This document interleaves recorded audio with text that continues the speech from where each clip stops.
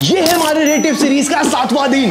Let's भाई, जूता किसी भी इंटरनेशनल ब्रांड से कम नहीं लग रहा है। पूरी बॉडी आपको लेदर की मिल जाएगी मल्टीपल लेदर पैचेस देखने को मिल जाएँगे। Light grey dark grey white powder blue colour जैसे कलर आपको देखने को मिलेंगे। काफ़ी ज़्यादा मिनिमल लगता है। बहुत चंकी स्नीकर है। साइड साइड की पैडिंग से लेकर पूरे टंग की पैडिंग में आपको मेश का काम मिलेगा। चौड़े से आपको लेस देखने को मिलते हैं। बैक में आपको एक लट्टू का धागा कैसे होता है? एक्जैक्टली वैसा आपको यहाँ पर लूप देखने को मिलेगा। बैक में रेटिव की ब्रांडिंग मिलेगी। बहुत ही चंकी इसका आउटर सोल मिलता है। पूरा रबर का है। और नीचे की तरफ़ आपको उछलता हुआ शेर देखने को मिल जाएगा। बेस्ट चीज़ लगी इसके दो आईलेट जो कि भाई मेटल के डाले गए हैं। ओवरऑल कहीं से भी एक इंडियन ब्रांड इंडियन स्नीकर नहीं लग रहा है और यही दिख रही है हमारी इंडिया की ग्रोथ इस स्टाइलिश स्नीकर को पहन के मैं कैसा लग रहा हूँ, ये सारी चीज़ें आप पीछे देख लो। लिंक चाहिए लिंक कमेंट कर दो ऐसे और अमेजिंग फ़ैशन अनबॉक्सिंग के लिए लाइक करके फॉलो एंड सब्सक्राइब कर लो।